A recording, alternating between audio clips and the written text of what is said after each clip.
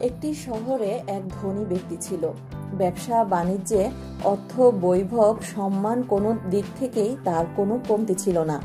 সকল প্রকার সুখ, সম্পত্তি ছিল তার নিত্য নৈমিত্তিক জীবনের সঙ্গে। কিন্তু হঠাৎ করে এক সময় তার এই বিলাসবহুল জীবন কোনো এক ঘটনাচক্রে ভেঙে চুরমার হয়ে যায় এবং সমস্ত বিষয় সম্পত্তি ব্যবসা সবকিছু হারিয়ে যায়। যা কিছু এতদিন ধরে উপার্জন করেছিল, সবকিছুর সমাপ্তি ঘটে।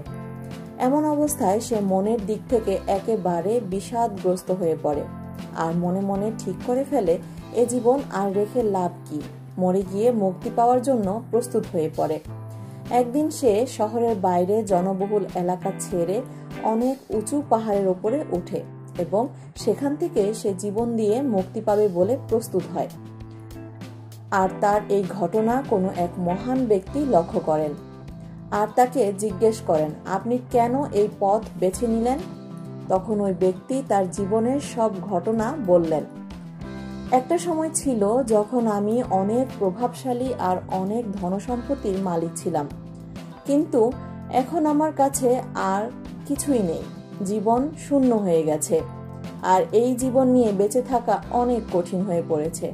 তাই আমার আর এই জীবনের ভার বহন করার ক্ষমতা নেই, আর আমি তাই এই পথ বেছে নিয়েছি।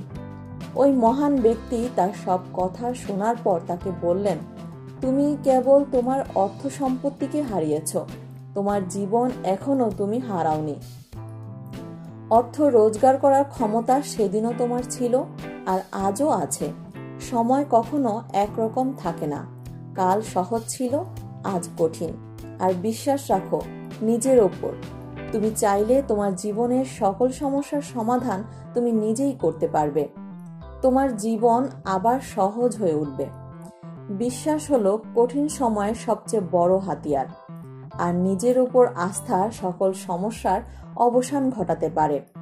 মানুষের জীবনে সমস্যা আসে তার পরীক্ষা নেওয়ার জন্য।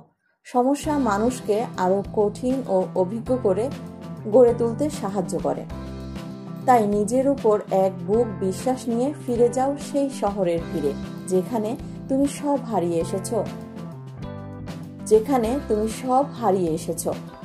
সেখান থেকেই আবার নতুন করে শুরু করো আর নিজের পরিশ্রমের সবটুকু উজাড় করে দাও। তুমি আবার পারবে, কারণ তুমি হেরেছ যতটুকু তার থেকে বেশি অভিজ্ঞতা অর্জন করেছ। আর অভিজ্ঞ ব্যক্তির কাছে কোনো কাজই কঠিন নয়। ওই মহান ব্যক্তির কথাগুলো শুনে সর্বস্ব হারিয়ে ফেলার লোকটা আবার নতুন করে বাঁচার স্বপ্ন দেখার ও তার বাণিজ্য শুরু করার সুযোগ ও সাহস পেল। আর মনে মনে ভাবল, ঠিকই তো, আমি তো কেবল আমার ধন সম্পত্তি হারিয়েছি, নিজেকে তো হারাইনি। আর হারানোর পেছনে যেটুকু সময় ব্যয় হয়েছে, তার বেশি সময় এখনও আমার সামনে অপেক্ষা করছে। আর সে আরও ভাবল, আমার সকল অর্থ ও টাকা আমার দ্বারা হয়েছিল। টাকা ও অর্থের জন্য আমি হইনি। অর্থ আমার পরিচয় নয়, আমার পরিচয় আমি নিজেই। সে নতুন করে আবার সবকিছু শুরু করল। নিজের পরিশ্রম ও মনোবল তাকে আবার ধনবান ব্যক্তি করে তুলল। এই কাহিনী আমাদের একটাই শিক্ষা দেয়, সময় ও পরিস্থিতিতে যতই সময় ও পরিস্থিতি যতই খারাপ হোক না কেন, তা এক সময় ঠিকই বদলাবে। যদি কখনো আপনার জীবনে সমস্যা আসে, তাহলে ওই সময়ই হলো নিজেকে চিনে নেওয়ার ও নিজের ক্ষমতা ও নিজেকে বুঝে নেবার। নিজের সমস্যাকে ভয় না পেয়ে তার সম্মুখীন হবার।